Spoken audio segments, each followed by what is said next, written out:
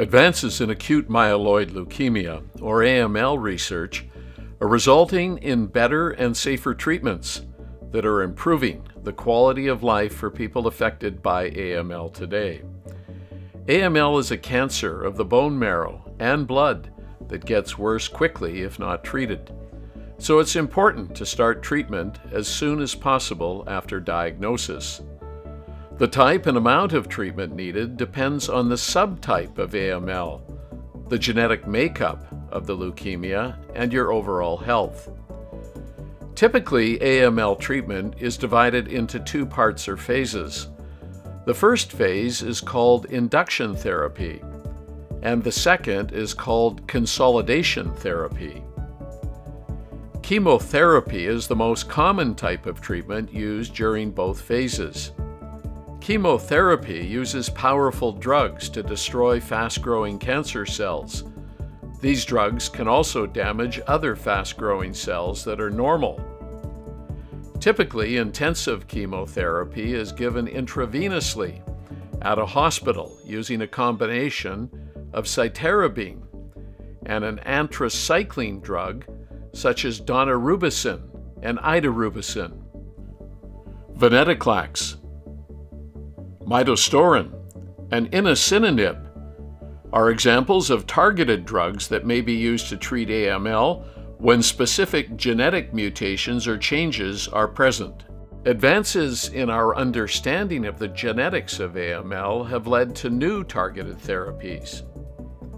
Targeted therapies work by attacking cancer cells directly without damaging normal, healthy cells.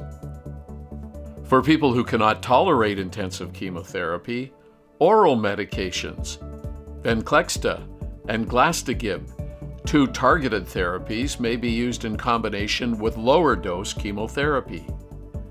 Most people with AML go to remission after induction therapy. A person is in remission when their bone marrow contains fewer than 5% blast cells, blood cell counts have returned to normal, and they may have no signs or symptoms of AML. But more treatment is usually needed to destroy any remaining cancer cells and prevent AML from returning. Treatment during this time is called consolidation therapy, and without it, the AML is likely to return. In addition to chemotherapy, a stem cell transplant may be recommended during the consolidation phase of treatment. A stem cell or bone marrow transplant replaces damaged bone marrow cells with healthy bone marrow cells from a matched donor. All treatments can have side effects. A side effect is an unwanted or unexpected reaction to a medication or treatment that usually gets better over time. With chemotherapy, the most common side effects include nausea and vomiting, diarrhea, temporary hair loss, mouse sores, rashes, and numbness or tingling in the fingers and toes.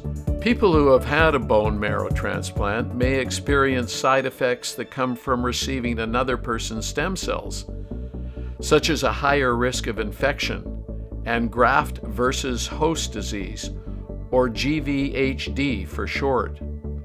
For some people, taking part in a clinical trial may be the best treatment choice.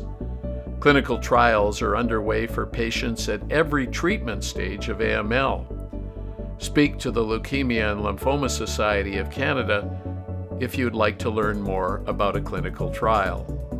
It's important to remember that you'll have a better quality of life if you stay connected, build a network of support, and communicate openly with your healthcare team. You're not alone. The Leukemia and Lymphoma Society of Canada is here to help you understand your AML treatment options and manage the road that lies ahead.